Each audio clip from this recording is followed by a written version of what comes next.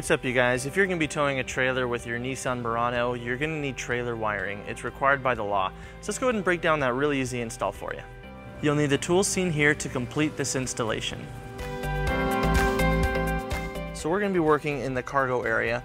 We're going to need to access our tail light harnesses, which are located underneath the storage trays on both sides. So to gain access to that, we're going to pull up on our floor paneling and we're just going to clip it up.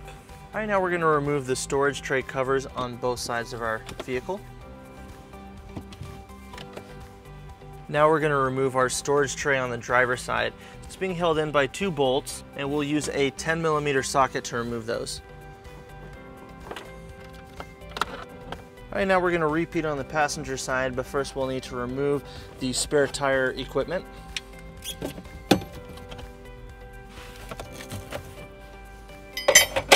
We'll remove the two screws. And then we'll remove this tray. And then we'll remove the passenger side tray.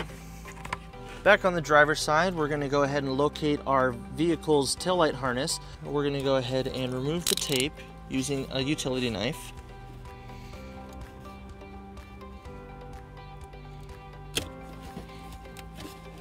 Then we're gonna go ahead and unplug it by pushing down on this tab. And then we're gonna take our T connector with the yellow, brown, and red wire. We're gonna go ahead and plug it in to our vehicle's taillight harness. Now using the included self-tapping screw, we're gonna go ahead and ground our white wire to this sheet metal right here. All right, now we're gonna need to run our green T connector to the passenger side. We're gonna stay behind these panels, so we're gonna go underneath this sheet metal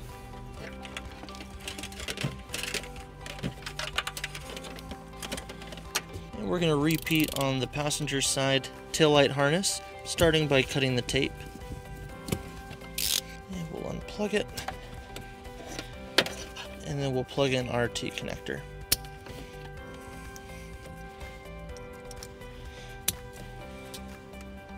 Alright, now we're going to go ahead and hook up our fuse holder. So Nissan did a really good job and they already have a wire ready for us right here. We're just going to go ahead and pull it out of the tape and then we're going to plug in our fuse holder. And with our fuse holder connected, we're going to go ahead and take our included 10 amp fuse and put it in.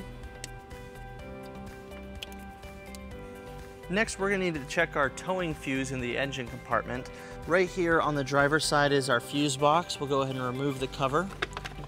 And at the bottom right here, we have our towing fuse location.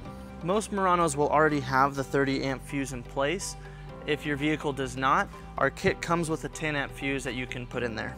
Now that we have our wiring all powered up and in place, let's go ahead and show you where you can store your four flat harness. If you'd like, you can leave it in the cargo area inside the vehicle. You can just leave it right here with the spare tire and pull it out through the weather seal when you need to use it. Or you can bring it down underneath the vehicle towards the hitch and we'll go ahead and show you how you can do that. On the driver's side, there's a grommet and a vent. They're too small for our harness to fit through without cutting it. So to avoid cutting it, we're gonna get to a bigger grommet underneath our threshold panel. To remove our rear threshold panel, we're gonna need to remove these three push pins using a flathead screwdriver. Now we'll need to remove this tab right here. And we'll go ahead and pull up on our rear threshold. And it's held in by these clips right here. So that gives us access to this new grommet right here. So we'll go ahead and remove it. And then we'll go ahead and take our four flat harness and we'll push it down. All right, now we're gonna go ahead and reattach our grommet. But before we do that, we're gonna need to cut a slit in it.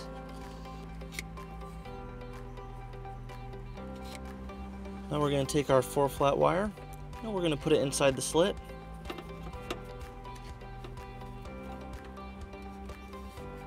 And then we'll put our grommet back into place. All right, now with everything in place, let's go ahead and put all of our panels back together.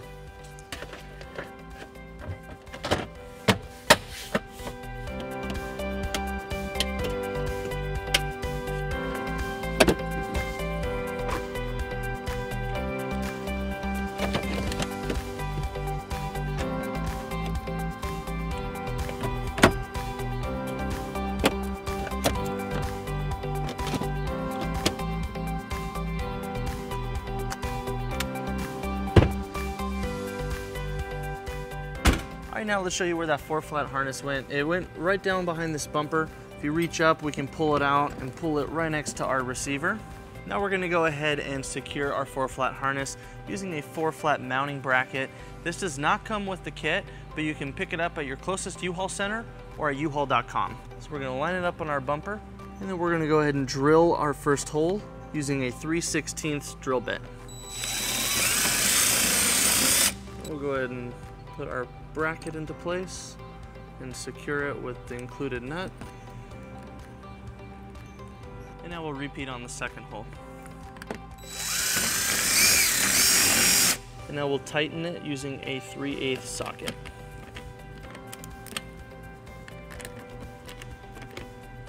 And we'll go ahead and put on our dust cover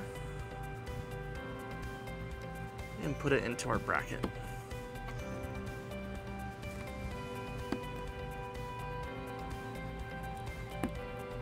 So that wraps up our install. Thank you for watching our video. If you have any questions or need more information, you can visit your closest U-Haul Hitch Center or you can visit us online at uhaulhitches.com.